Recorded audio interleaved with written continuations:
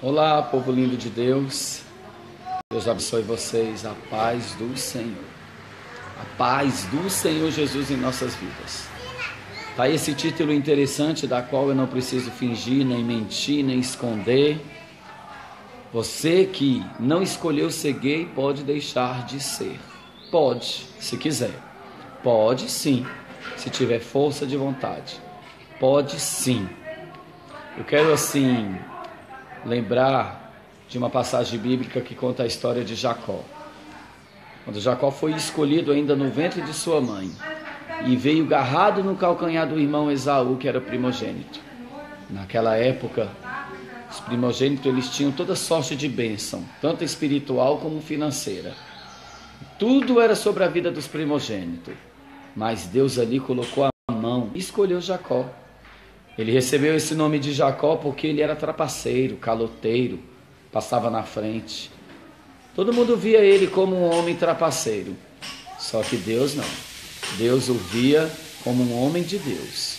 Porque Deus não vê como um homem vê. Deus vê o interior.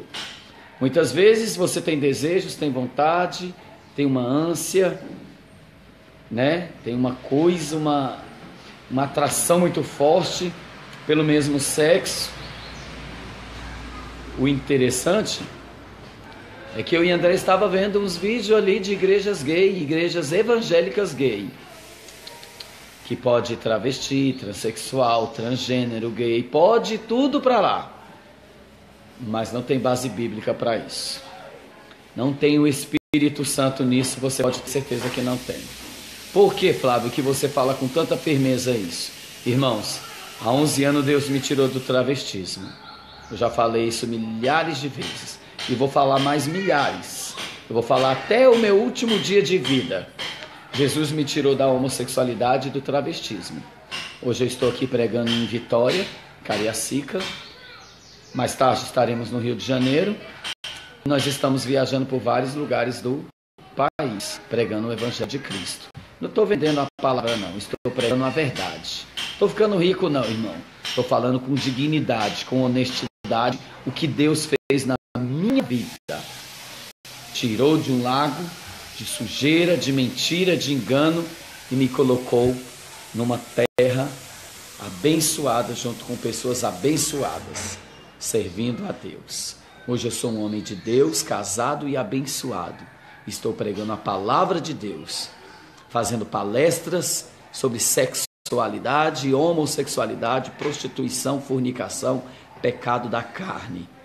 1 Coríntios capítulo 6, Romanos capítulo 6.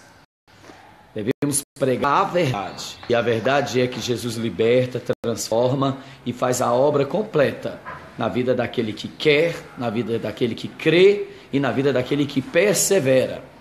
Pois Jacó, ele não, o segredo dele não foi somente lutar com o anjo. O segredo da vitória de Jacó foi perseverar em lutar com o anjo. Foi perseverar. Ele perseverou até o fim. E o nome dele, a vida dele, o passado dele, tudo que ele era, tudo que ele fez, ficou para trás. Muitos ligam para mim e diz: "Para que você fica postando essas fotos do antes e do depois? Para que você fica mostrando para todo mundo o que você era, o que você deixou de ser. Deus jogou no mar do esquecimento, sim, para perdoar. Mas lembra-te de onde eu te tirei e não retroceda, pois quem olha para trás não é digno de tocar na mão, tocar no arado, colocar a mão no arado. Em Provérbios 24, versículo 10 diz: Aquele que se mostra frouxo no dia da sua tribulação, no dia da sua dificuldade, sua fé é pequena pois covardia e ser frouxo é uma coisa que quem me conheceu no passado sabe que eu nunca fui. Deus é fiel na minha vida e sempre será. Eu sou um homem de atitude, quem manda em mim sou eu e o Espírito Santo de Deus. Não é o diabo e nem o mundo que manda em mim. Deus ele é fiel. E você que não escolheu ser gay, ah, eu não escolhi ser assim, pode deixar de ser. Como? Orando, jejuando, lutando, perseverando em viver na presença de Deus. Alimente o seu corpo, sua vida com a palavra de Deus. com louvores, com hino. Case-se, seja feliz, tenha uma esposa. Ah, mas eu não gosto de mulher, passe a gostar. Porque eu passei a gostar.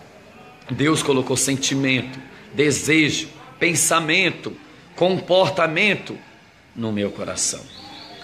Porque tudo que você deve guardar é o teu coração, porque é dele que procede as saídas da vida.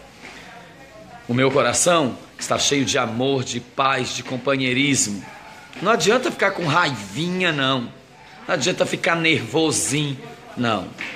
Dê lugar a Deus na sua vida, porque você não quer sair do pecado, aí fica postando que está com ódio, que está com raiva de mim. Não adianta a sua raiva, a sua carinha feia.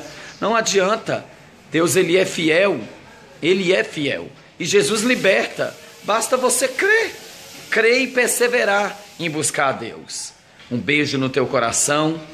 Compartilhe esse vídeo, divulgue esse vídeo, entre no meu canal no YouTube, se inscreva, porque Jesus está libertando muitas almas através da minha vida. E críticas, ofensas, calúnias, isso não para um servo de Deus, não. Pedradas, hum, para servo de Deus, não. E conhecereis a verdade, e a verdade vos libertará. Se o Filho vos libertar, verdadeiramente você já é livre. Leia a Bíblia, ore, jejue, persevere. Se cair, levante. Tenha vergonha na cara. O mundo és do maligno. Tenha sentimento por ti mesmo, pela obra de Deus e pelo sacrifício que Jesus fez na cruz. Pois ele morreu para me salvar e para salvar você também.